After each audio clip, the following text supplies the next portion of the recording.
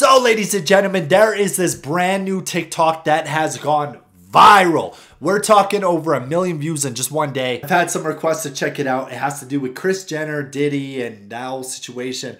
Please, please, please take it with a grain of salt. I still need to get some merch that says that, but here it is. Y'all, so when they raided Diddy house, they're saying that they found incriminating evidence on Kris Jenner and they looking to talk to her. But Kris Jenner pulled the Houdini and disappeared. What? But yeah, Kris Jenner has a lot of explaining to do. If they could find her. Welcome back.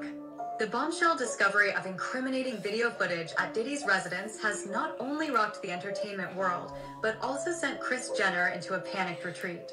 The once unflappable matriarch has vanished, going MA in a bid to evade the relentless pursuit of the federal authorities. Reports suggest that Kris has fled the country, What? seeking refuge in a far-off location to escape the mounting pressure and looming threat of imprisonment.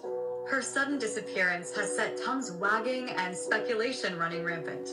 What was once merely whispered about in the shadows has now burst into the glaring spotlight of public scrutiny.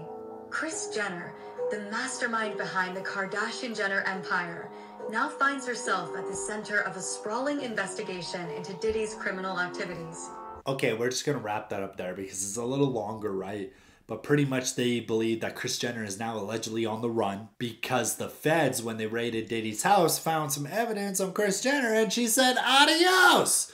I'm in the fucking Bahamas! I'm in Costa Rica! Kris Jenner's laid out on a beach with a pina colada. if I'm being honest, I have no idea, right? this YouTube page or whoever made that video, they could be making this stuff up. I have no idea. There's really no evidence, there's no sources. These are just the clips and videos that are going viral on TikTok and YouTube. So that's all I want to say, bro. I don't you know what's going down. All I know is I truly believe if Diddy goes down, he's bringing half of Hollywood with him. That I do believe.